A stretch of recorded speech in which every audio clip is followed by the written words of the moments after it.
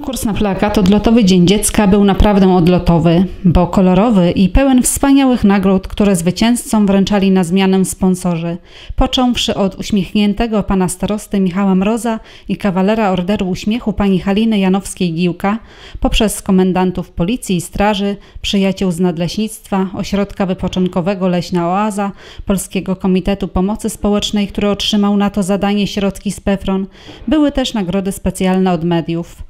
Wszystkich sponsorów nie jesteśmy w stanie tu wymienić, ale bardzo serdecznie dziękujemy.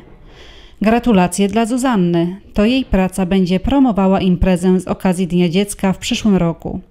Wszystkie prace można obejrzeć na stronie internetowej pcpr. Zapraszamy.